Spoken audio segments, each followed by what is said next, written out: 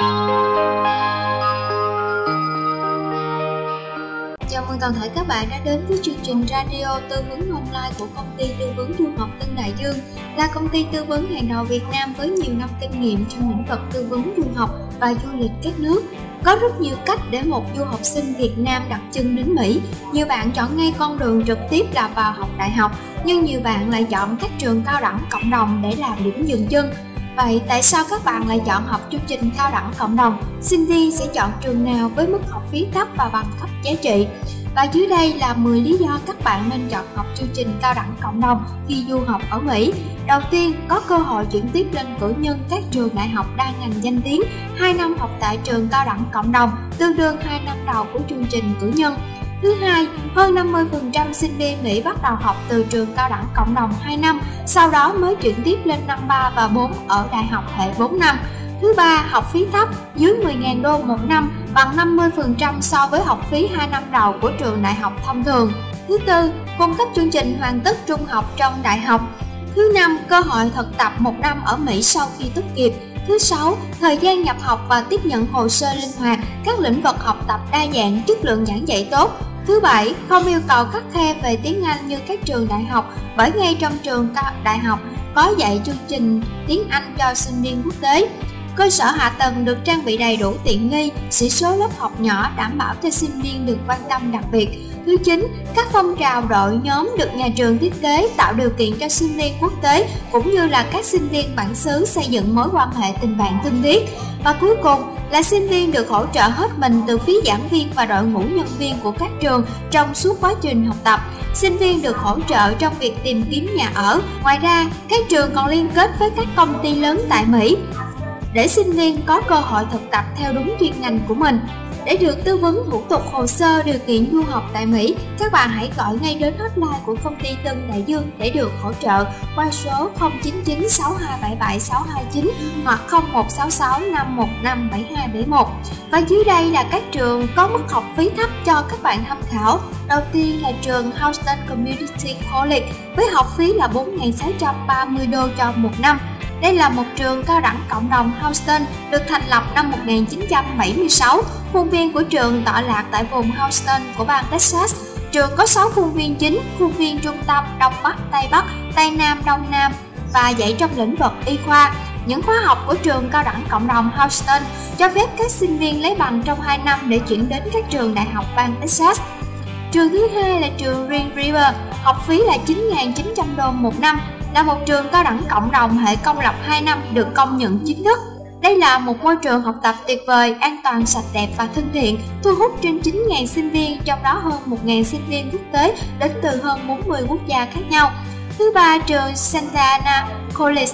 Đây là học phí Anh văn với 5.136 đô một năm. Trường được gọi tắt là SAC, Trường tròn 100 tuổi vào năm 2015 này và hiện nay có khoảng 18.000 sinh viên theo học mỗi học kỳ tại trụ sở chính của trường nằm tại thành phố Santa Ana. Trường đào tạo sinh viên để sẵn sàng chuyển tiếp lên các hệ đại học 4 năm với nhiều năm kinh nghiệm, Tân Đại Dương sẽ giúp các bạn apply vào trường, làm thị thực sinh viên, giúp các bạn mua vé máy bay và sắp xếp tiết chỗ ở cho các bạn.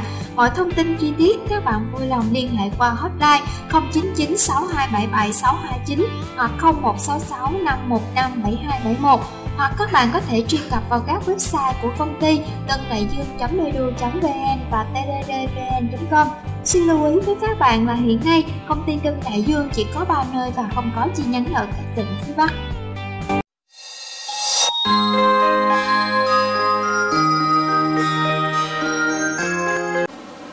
Chào tất cả các bạn đến với chương trình chia sẻ qua du học Mỹ của công ty Tân Đại Dương.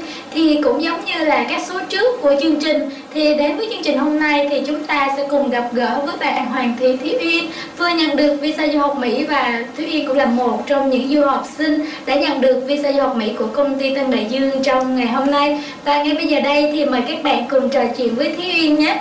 À, chào Uyên, Dạ em xin chào chị ạ. À, Em rất là giới thiệu thôi nhé bản thân em dạ em uh, là Uyên, em năm nay em 22 tuổi, em ở Đồng Nai và em vừa mới tốt nghiệp và ngành cử nhân kế toán chuyên ngành kiểm toán của trường Đại học Công nghệ Thành phố Hồ Chí Minh. Cái cảm nhận của em khi mà nhận được visa du học Mỹ thì như thế nào?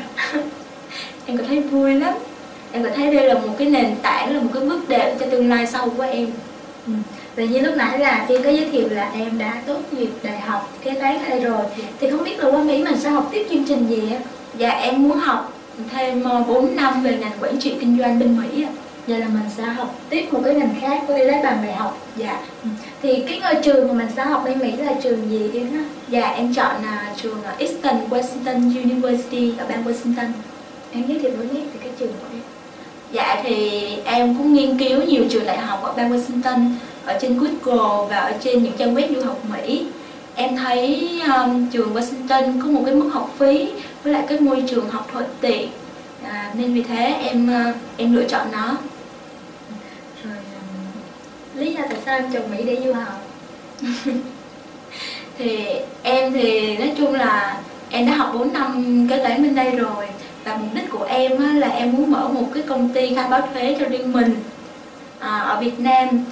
Em muốn tận dụng những kiến thức về kiểm toán kế toán đã học ở Việt Nam và cộng thêm với những kiến thức học được bên Mỹ để em có thể thực hiện được ước mơ của mình à, là cái kế hoạch của em là sau khi học xong tại Mỹ thì sẽ về Việt Nam và mở cái công ty dạ. riêng cho riêng mình dạ. khi mà làm hồ sơ tại Tân Đại Dương thì em có cảm nhận như thế nào về dịch vụ của Tân Đại Dương dạ thì em cũng biết được dịch vụ Tân Đại Dương qua người thân bên Mỹ là những người mà đã đi du học học trước rồi người ta đã tốt nghiệp và người ta chỉ cho em đến công ty Tân Địa Dương để làm hồ sơ du học và em cảm thấy à, à, các anh chị nhất là chị Diễm Thúy rất là tận tình giúp đỡ cho em.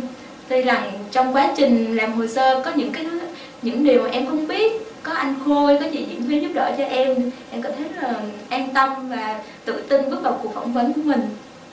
Cái quá trình học phỏng vấn của em với anh Khôi như dạ anh Khôi thì anh cũng dạy em nhiều điều lắm. Anh dạy cho em những cái bí quyết để mà thực hiện được cuộc phỏng vấn thành công. Dạ bên cạnh đó thì chị Diễm Thúy chị cũng dạy cho em nhiều.